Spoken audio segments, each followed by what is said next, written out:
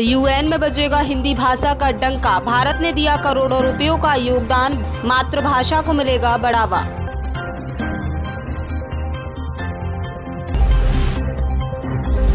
भारत का साफ़ संदेश, म्यांमार मामले में रणनीतिक हितों के मुताबिक लेगा फैसला।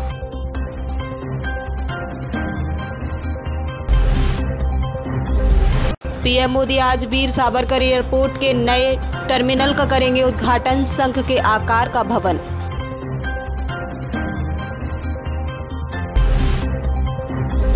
केरल के पूर्व मुख्यमंत्री ओमन चांडी का निधन, बेटे ने दी जानकारी।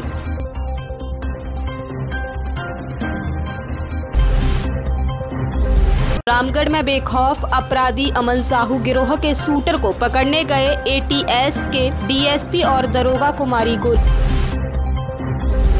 केजरीवाल कर रहे थे मनमानी, इसलिए मोदी सरकार लेकर आई अध्यादेश एससी में केंद्र में रखा पक्ष। ऐतिहासिक सुधारों और खर्चे के दम पर 9 साल में पांचवी सबसे बड़ी जीडीपी बना भारत, वर्ना स्टीन रिपोर्ट में दावा।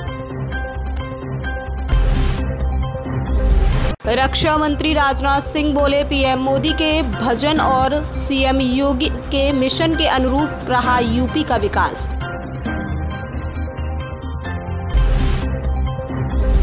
अमेरिका ने भारत को लौटाई 105 प्राचीन कलाकृतियाँ।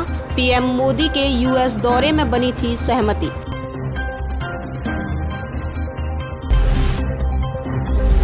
एमपी में टॉपर विद्यार्थियों को मिलेगी लैपटॉप की राशि, सीएम शिवराज ने किया ऐलान।